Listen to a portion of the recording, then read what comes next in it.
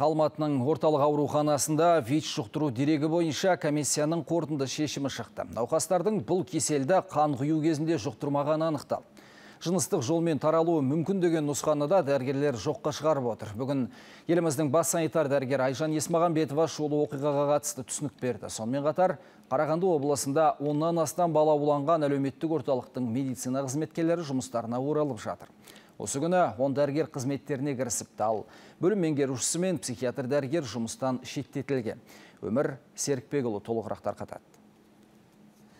Қазақстанның бас санитар дәргері Айжан Есмағамбетова комиссия шешімін түсіндірді. Айтуынша ВИЧ індетін жұқтырған науқас орталық клиникалық ауруханада емделген және ауру сол адамнан таралуы мүмкін. Алғашында оны тексеру кезінде вирус сынамасы күмәнді нәтиже берген. Екі аптадан кейін науқас қайта тексерілуі керек болған, алайда осы уақыт аралығында ол басқа індеттен көз жұмған. Бас санитар дәргер вирус медициналық шараларды жүргізу кезінде таралуы мүмкін деп болжап отыр отыр у всех четверых. Төрт адамда, яғни қайтыс болған науқаспен емделген үш адамда 100% сәйкестікпен бірдей вирус түрі анықталды. Демек, індеттің бір адамнан тарағанын, оған аурухана ішіндегі іс-шаралар себеп болғанын жоққа шығаруға болмайды. Бұл жағдайда медициналық инвазивті манипуляциялар кезінде медицина қызметкерлерінің операциялық процедура стандарттарын дұрыс орындамауынан болуы мүмкін. Бұдан бөлек жанама факторларда анықталды. Медицина персоналының қызметіне тиісті бақылау жасалмағаны белгілі болды.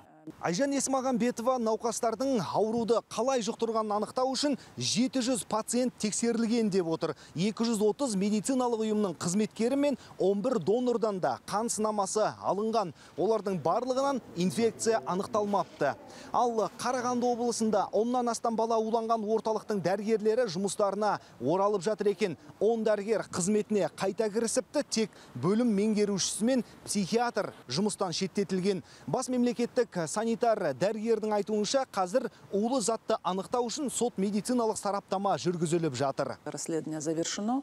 Ереже бойынша сот медициналық сараптама айтарлықтай ұзақ уақытты алады. Қорытындысы бір айдан кейін не одан да ұзақ мерзімде белгілі болуы мүмкін. Ол қандай да аралық нәтижелер алынатынына қандай сарапшыларды тарту қажет болатынына қосымша тексерулерге байланысты болмақ. Сонымен қатар биыл елімізде қызылша ауруын жұқтыру фактісі көбейіпті. Айжан Есмағамбетованың есебі бойынша биыл 3 мыңнан астам адамнан аталған ауру анықталыпты. Дертті жұқтырғандардың 72 пайызы балалар екен. Олар кеселден қорғайтын вакцина қабылдамаған.